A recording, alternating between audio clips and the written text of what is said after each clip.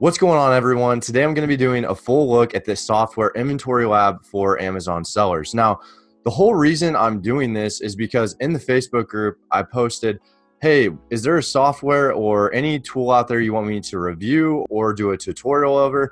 And this software one, hands down. Funny thing is, is that I've been using this since probably the latter part of 2017. I've just never done a tutorial video on it. So I'm going to be giving a full in-depth look at the software and how I use it personally and why I think it's so important.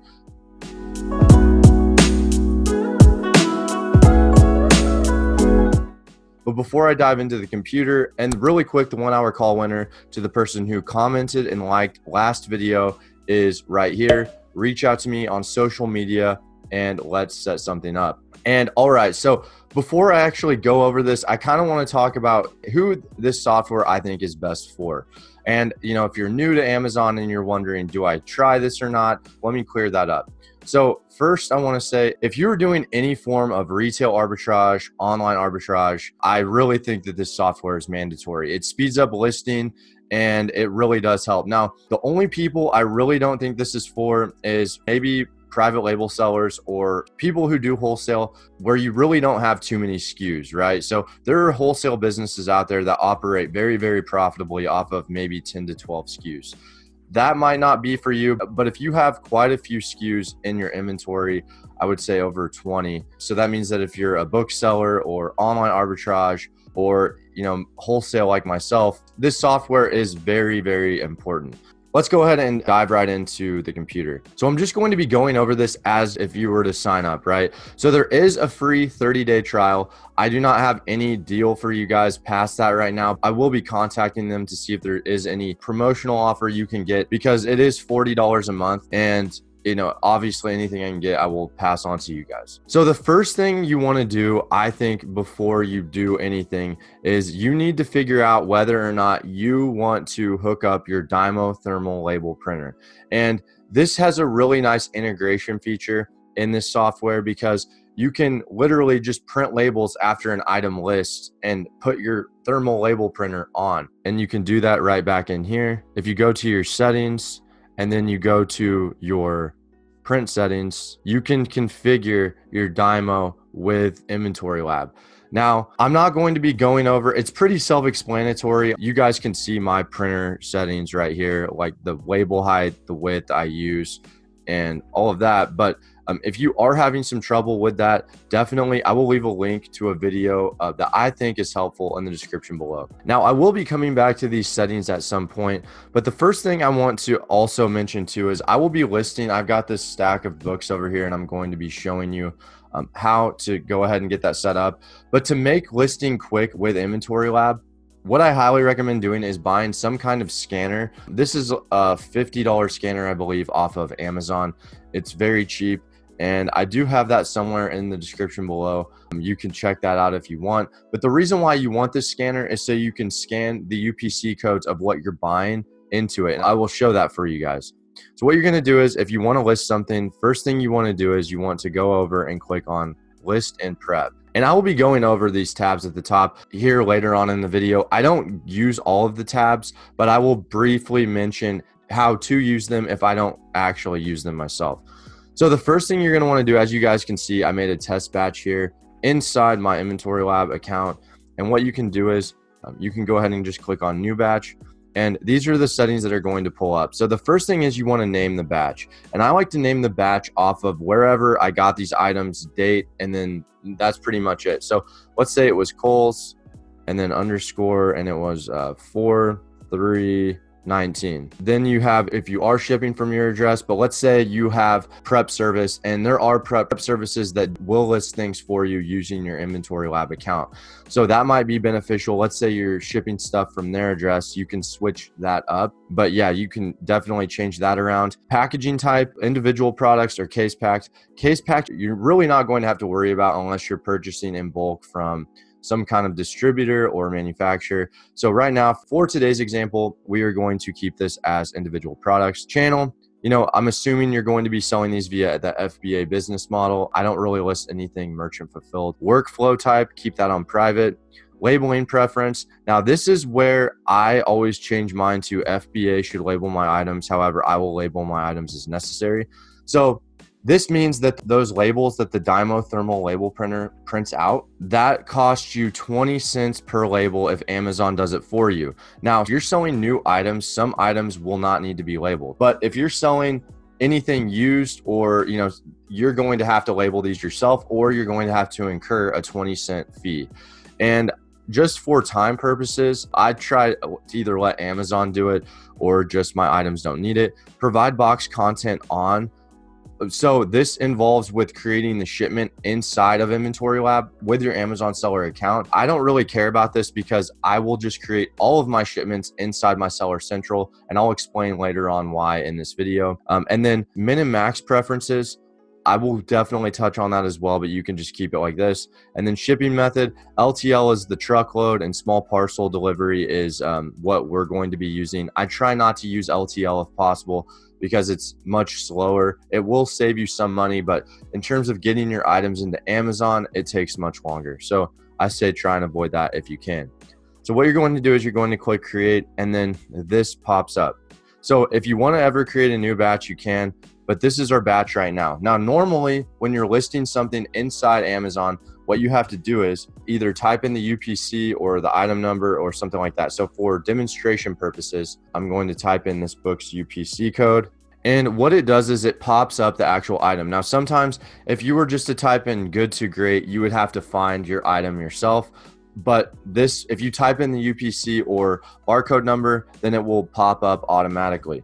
And what you can quickly see here is there's an FBA column, a used column, and then a new column. And all I really care about is the FBA column. We're just going to work our way down here. So tax code, and this is just how it's taxed in your Amazon account. I just have mine set as general. This is pretty great. You can quickly get through the battery and regulated process. So that's great. Um, so just click no battery, unknown regulation.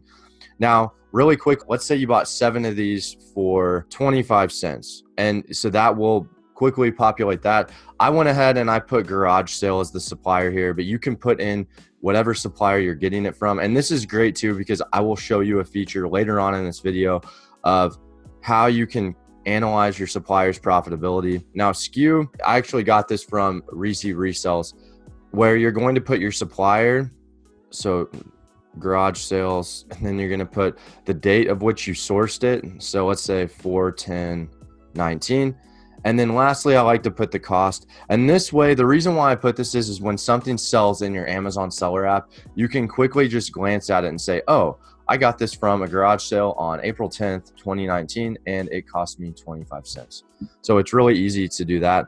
And then lastly is you can pick your condition. Now, normally on Amazon, you have to actually click on the listing to write in there, which I highly recommend. If you're selling anything that's not new, you need to be putting in condition notes.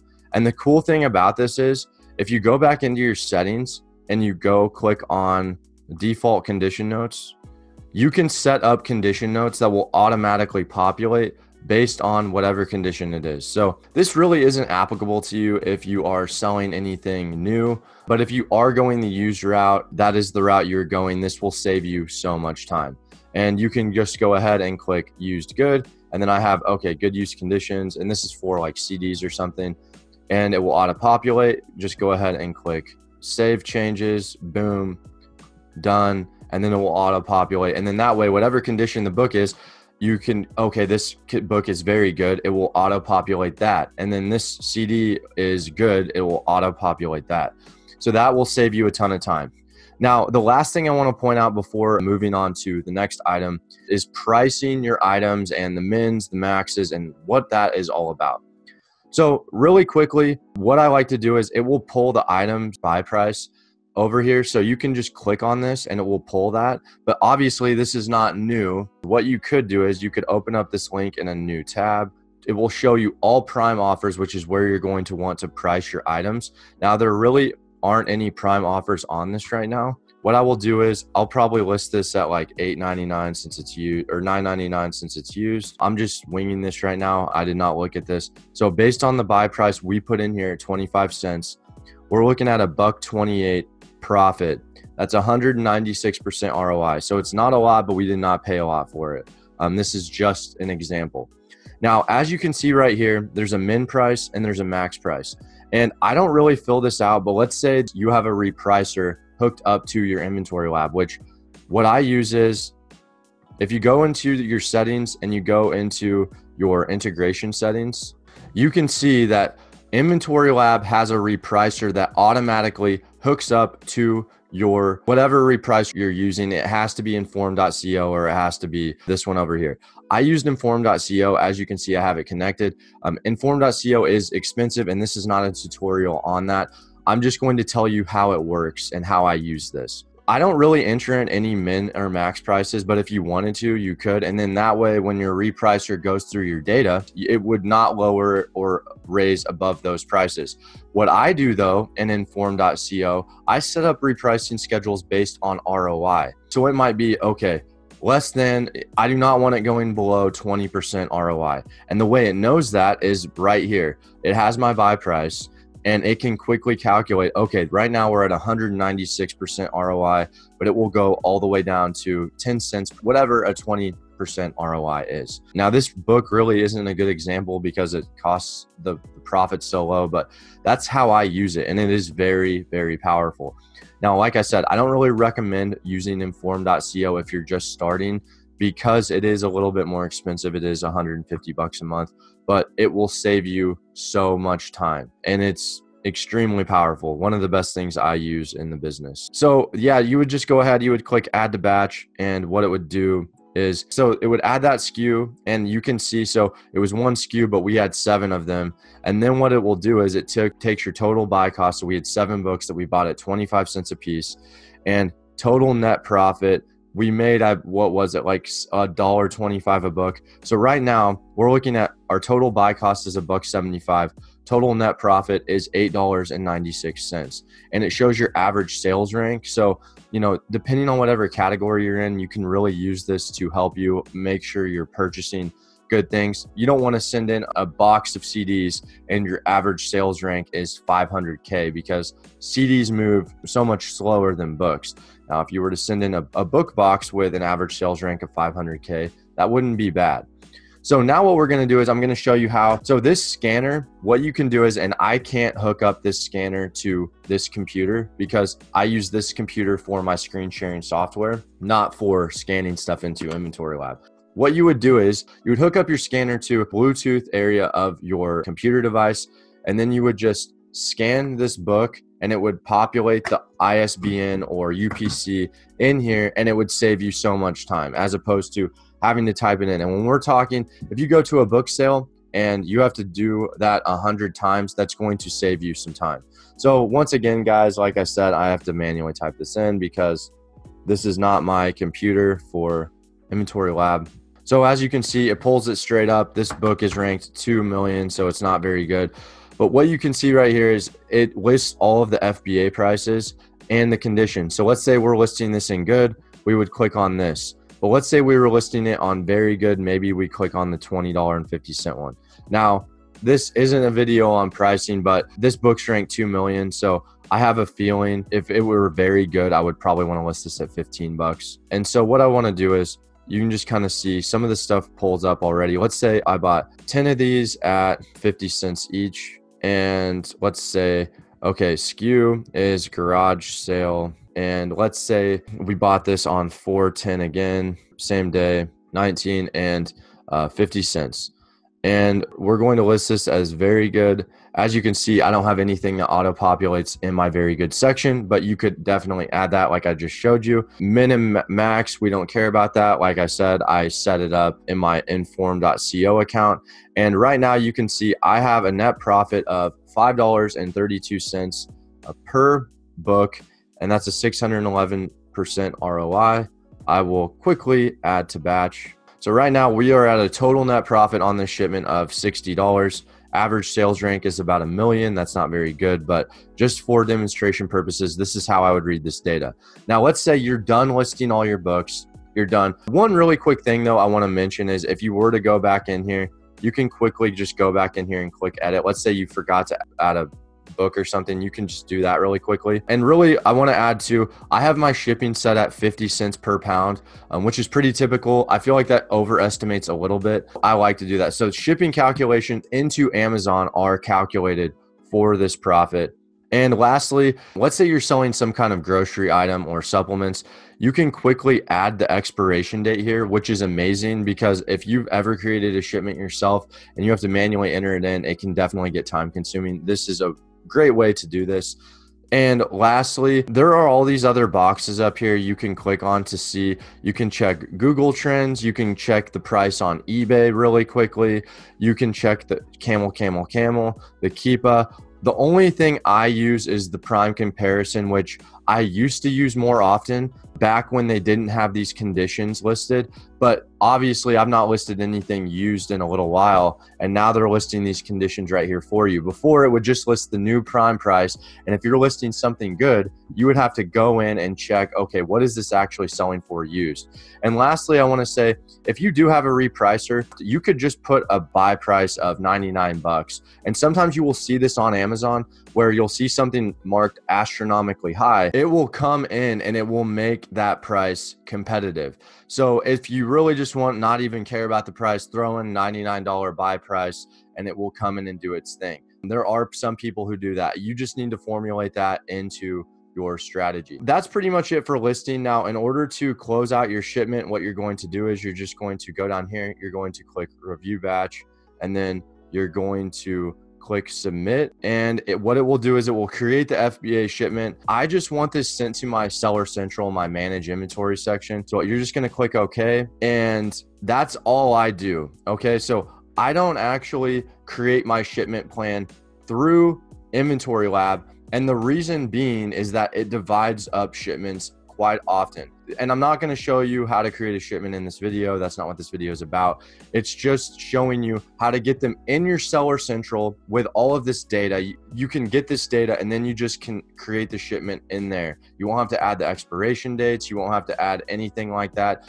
It will collect all of this data for you and you're good to go. Now I'm going to move across the other tabs and talk about some things I use, some things I don't use. So this research tab right here for finding items. I don't use that. The dashboard tab, I don't use. You can find all your closed batches. So once a batch is closed out, you can go back here and just pull that data if you want. Right here, if you click on your inventory and your FBA, it will show all your FBA inventory similar to that of your manage inventory section in Seller Central. I don't really go in there too often. Now, the accounting section in here, it is useful and I don't actually look at this data too often though. This is nice for if you have a CPA and you can just give them access and they can log in here and get some of this data. Now, for example, something like reimbursements or refunds or something like that. I just pull that data from my seller central if that's what they need. It does make things nice and congregated in a nice, easy to use place. Now, the last thing I want to say is these reports.